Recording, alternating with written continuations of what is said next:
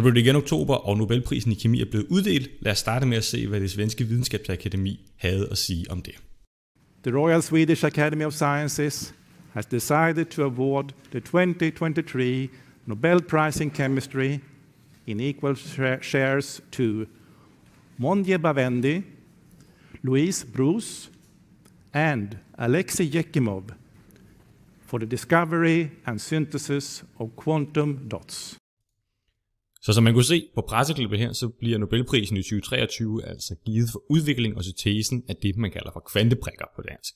Og den bliver givet til Bawendi og Bruce og Ekimov, og det er særligt Bawendi, der har lavet syntesen af de her kvanteprikker og fået Nobelprisen af den årsag, og udviklingen og opdagelsen, om man vil, kan man sige, at Bruce og Ekimov har stået rimelig ligeligt for. For at forstå, hvorfor den her Nobelpris er væsentlig, der kan det godt være smart at prøve at tænke i, hvordan vi normalt egentlig sådan tænker om sådan kemiske strukturer og egenskaber, som sådan makroskopiske ting har. Øh, så eksempelvis så kan vi ligesom typisk ud fra, hvordan at nogle atomer og grundstoffer er bygget op, tænke i, hvordan de kan sammensættes i molekyler. Vi kan også tænke i, hvordan de ligesom sammensættes i strukturer, så for eksempel carbon, som vi har her, kan vi forestille os sætter sig i et atom gitter, eller molekylegitter, eller hvorfor en gitter, jongitter, det nu kunne være på den her måde, og øhm, derfra ligesom udlede nogle egenskaber af, hvordan at vores grundstofatom eller forbindelse ligesom opfører sig helt mikroskopisk, til hvordan den så sammensættes, og hvilke egenskaber vi så kan forvente på makroskopisk plan. Så eksempel, at carbon kan lave diamanter. Det vi så også ved, for eksempel om carbon, det er, at det betyder faktisk også noget nogle gange, hvordan at de her strukturer er sammensat, fordi carbon kan også sammenfættes i sådan nogle grafitlag. Og det giver nogle andre egenskaber for sådan vores makroskopiske stof. Men det, hvor man så kan sige, at vi ligesom når til, det er, at hvis vi ligesom kan finde ud af, hvad sådan strukturen og gitteret ligesom er i den forbindelse, som vi arbejder med, så kan vi sige noget om, hvad end sådan makroskopisk stof vi ligesom måtte have. Og ideen er jo i virkeligheden, at vi tænker, at det her gitter, vi ligesom har, det på en eller anden måde er så stort, fordi vi arbejder med så mange milliarder molekyler eller atomer, eller hvad det nu måtte være, at vi kan ligesom bare forestille os, at det ligesom er uendeligt. Så de egenskaber, vi har, vil ligesom være ens i alle de makroskopiske stoffer, vi har. Det, der så er anderledes ved den her pris, det er i virkeligheden, at man prøver at tænke i, hvad nu hvis man ikke blot kan tænke i, at de her molekylære, eller atomare, eller iongitre, vi ligesom har, er uendelig store. Hvad hvis vi arbejder med nogle sådan krystalstrukturer, der faktisk er så små, at nogle af de effekter, vi kender for, når vi sådan tænker på mikroskopisk kemi, betyder noget. Så eksempelvis hvis vi kigger på, at et carbonatom sådan rent størrelsemæssigt er sådan omkring 0,1 nanometer, og en nanometer det er sådan en milliardedel af en meter, så kan vi se, at sådan noget som molekyler, som f.eks. acetylsalicylse, det er så lidt større, det er cirka sådan 1 nanometer stort. Og de her sådan typer af partikler, nanopartikler som det bliver kaldt, det er så ligesom partikler, hvor at vores gitterstruktur ikke er større end 1 til sådan 100 nanometer størrelse. Og det betyder, at vi i virkeligheden arbejder så småt i forhold til sådan makroskopiske strukturer og ideen om sådan uendelige sådan gitterstørrelser. At nogle af de effekter, vi for eksempel kender, og vi bruger rigtig meget til at beskrive vores atomer, for eksempel kvantemekaniske fænomener, de bliver faktisk også vigtige for den struktur, vi ligesom har i vores nanopartikler her, og det bliver vigtigt, når vi gerne vil beskrive, hvorfor nogle egenskaber de her nanopartikler har. Og blot til sådan en sammenligning, så for eksempel sådan en makroskopisk ting som et menneskehår, det er sådan omkring 70.000 nanometer, så der er stadigvæk ret sådan lang rejse op til vi begynder at have noget, vi ligesom kan se. Og det leder os så til Ekimov og Bruce, fordi man kan sige, at den her spekulation om, at man kunne have nogle sådan meget små krystaller, der kunne påvirkes af kvanteeffekter, det er sådan set en idé, der er nogen lige så gammel som kvantemekanik. Men man havde bare ikke rigtig sådan operationaliseret den. Det Ekimov og Bruce gjorde, det var, at de arbejdede Ekimov i Sovjetunionen og Bruce i Amerika, og derfor snakkede de ikke rigtig sammen, fordi der var kold krig. Men de arbejdede dybest set på den samme idé og fandt frem til den nogenlunde samtidig, og derfor har de også begge to fået prisen, selvom de dybest set har opdaget sådan nogenlunde det samme. Hvis vi kigger på Ekimov, så arbejdede han med lys, og han arbejdede specifikt med at kigge på, hvordan at noget glas ligesom kunne få farve ved, at man tilsatte stoffer til det. Det er jo sådan set en rimelig en gammel viden på en eller anden måde. Og når vi tænker på sådan farver sådan i klassisk kemisk forstand, så er det jo sådan noget med, at vi tænker, at hvis et, et eller andet stofmolekyle skal absorbere eller imitere en eller anden form for lys, så handler det om, at vi skal have flyttet en elektron fra sådan den højeste okkuperede sådan molekyleorbital op til den laveste ikke okkuperede molekyleorbital. Og der vil ligesom være en eller anden energiforskel i de to, og det betyder, at enten så skal det lys, man så skinner ind med for at få lavet en excitation, det skal ligesom have den præcise mængde energi. Og modsat kan man sige, hvis den her elektron, når den så ligesom ligger heroppe, falder sådan tilbage igen, så vil den udsende den samme mængde energi, som så vil have en meget bestemt type af bølgelængde og lys, det svarer til. Og så kan man ligesom skinne lys med dioder for eksempel. Og når vi kigger på det normalt i sådan kemisk forstand, så vil vi typisk sige sådan, jamen når vi så skal ændre farve, så handler det om at ændre den molekylære struktur, vi ligesom har af hver ende farvestof, vi ligesom arbejder med. Så indigo og purpur er lidt forskellige farver, selvom de er meget tæt strukturelt på hinanden, fordi der er nogle sådan bromatomer i purpur. Så der er ligesom det der med at ændre molekylerne, der gør, at man får en anden farve eksiteret eller emitteret, eller hvad det ligesom måtte være. Det, der så var det væsentlige for Ekimov, det var, at han, han kiggede på koverklorid, og hvordan koverklorid ligesom kunne farve det her glas. Og han arbejdede ligesom med at prøve at varme det her glas og køle det sådan på forskellige måder, og så kunne han ligesom se, at ud fra det fik han noget glas, der havde forskellige farve. Og det kunne man så tænke, om det kan jo så være fordi, at det her korklod ligesom reagerer med noget af sådan glasstrukturen på lidt forskellige måder, afhængig af, hvordan man ligesom laver den kemiske reaktion. Det er jo fair nok. Det viser bare, at det var det ikke. Han målte nemlig på det, og så fandt han ud af, at det som der faktisk skete var, at de her kover nanopartikler, man i virkeligheden havde med koverklorid, der skete der det, at når deres størrelse varierede, så indtræffede der et sådan ret klassisk kvantemekanisk fænomen, nemlig at de elektroner, som ligesom lå i de her strukturer, dem der ligesom lå i det her homolumo gap, om man vil, de blev faktisk påvirket af, hvor store de her nanopartikler var.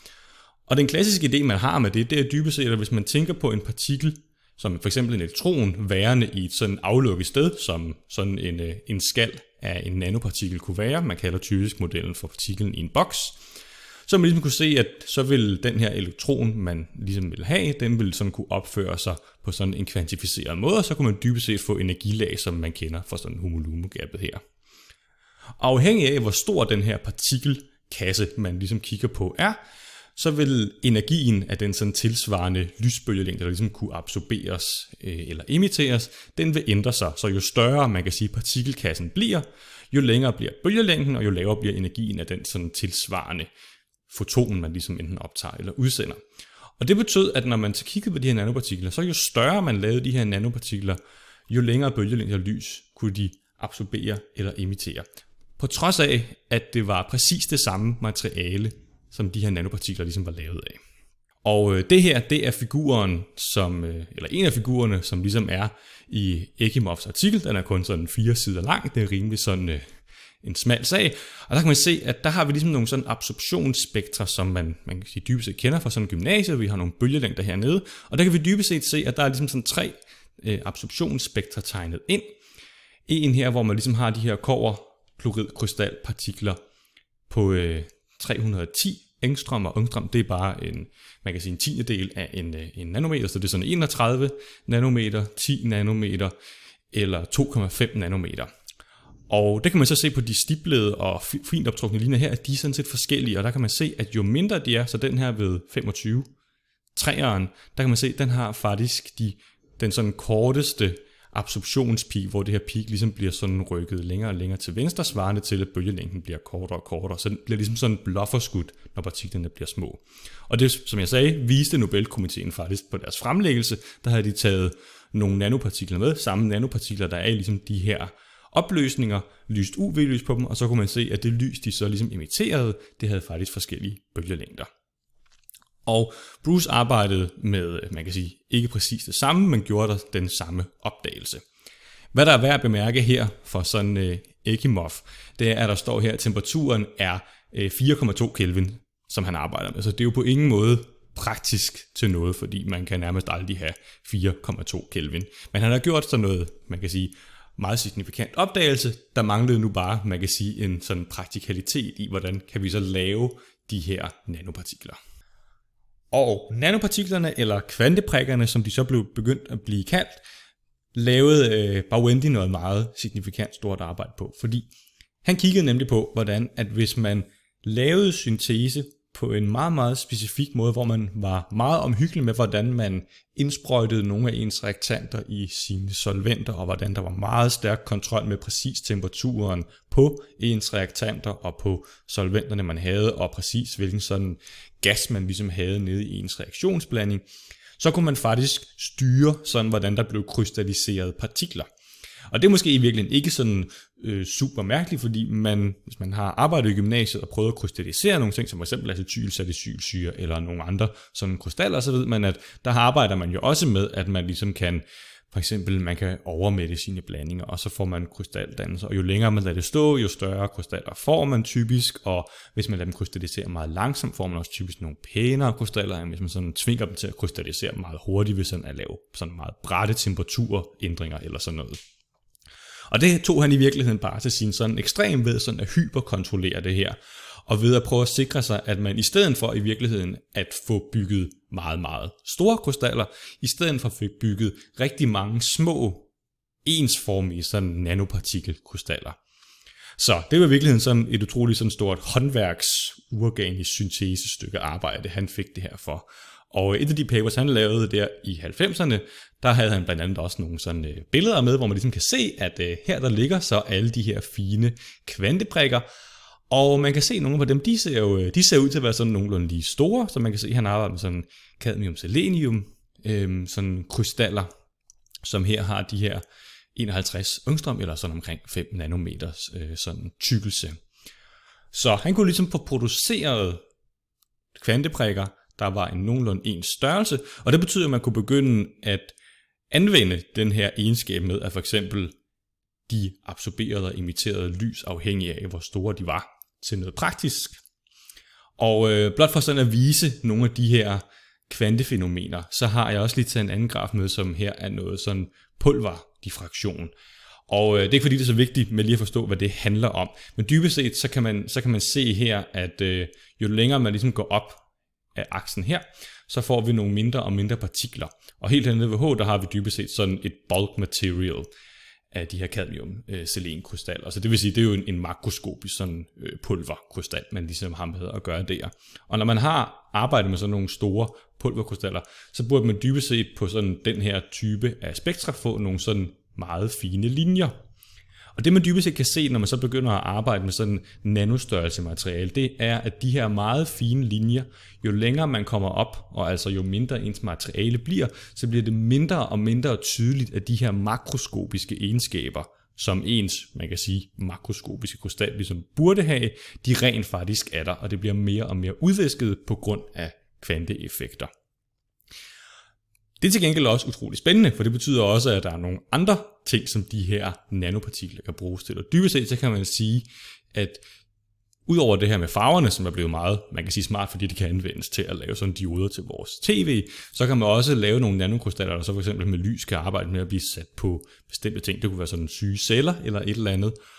Men det betyder egentlig også, at sådan alle de andre egenskaber, ikke kun evnen til at absorbere lys, påvirkes også. Så det betyder egentlig, at man kan også lave materiale nu, man kan sige, der består af den samme type, sådan rent atomart eller molekylært, hvor at smeltepunkterne for eksempel er forskellige alt efter hvor store nanokrystallerne er. Man kan også gøre det med ledningsevne, og man kan også bruge det til i virkeligheden at lave katalytiske reaktioner. Så derfor, der har Bauendi, Bruce og Ekimov altså fået Nobelprisen i 2023 for udvikling og syntesen af kvantebrikker. Og hvis man vil, så kan man gå ind på Nobelprisens hjemmeside og se sådan hele deres sådan pressemeddelelse og press release, og der ligger også links til de relevante artikler, videnskabelige forklaringer og også populære videnskabelige forklaringer. Men det var, hvad jeg havde at sige om dette års Nobelpris.